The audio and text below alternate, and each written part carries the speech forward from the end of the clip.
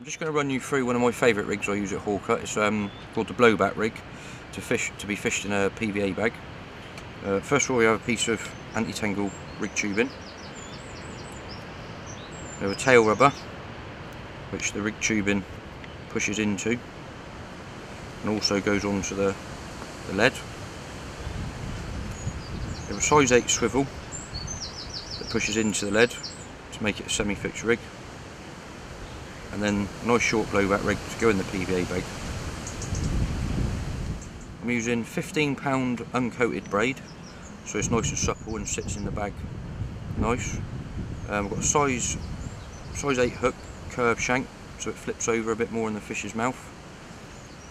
And I've got a little white pop-up tipped with a red maggot as a boilie stop. I'm just going to explain about the blowback rig, how it works. The, the little piece of tubing you can see there helps it stay in the fish's mouth a lot longer. Um, if you had a normal hair rig and it's coming off the eye of the hook like that, when it goes in a fish's mouth, it blows the bait out first and hook follows. But with the bit of tubing, keep it level with the point. When that goes in the fish's mouth, it goes to blow it out. It blows the tubing up the shank of the hook, meaning the hook will stay in the fish's mouth longer, giving it more chance to turn over and get a hook hold. I'm just going to run you through the rig mechanics. Got a little piece of rig putty here, just keep everything pinned down to the bottom, which is optional. Um, we've got our little piece of tubing that makes the blowback rig, and we've got our white popper tipped with a red plastic maggot, which is perfectly balanced to the weight of the hook, so the hook is just wafting around off the bottom. Now I've explained how the, the rig works, I'm now going to sh show you how to tie this in a PVA bag although you can use that by yourself and you'll still catch.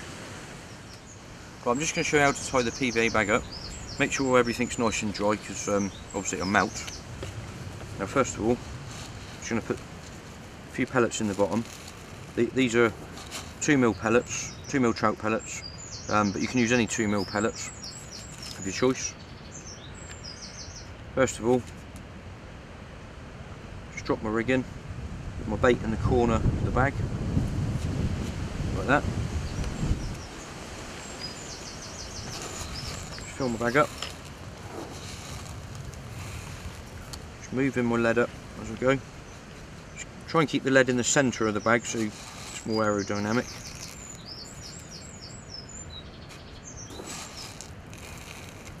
Just fill it up to the top of the lead.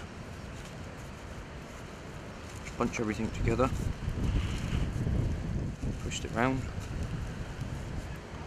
a little bit PVA tape here, just lick one end, stick it on the bag, twist it round nice and tight, just lick the other end, stick it down, push the corners in to get the bag nice and tight. You want the bag to sound like a, a brick when it's going in. If it's all loose it will melt before it's even hit the bottom. Lick the corners. Just pull them over and stick them down there we go the bag all tied ready to go out. When that bag melts on the bottom our little pop-up will be sat bang smack in the middle of all those pellets ready for a bite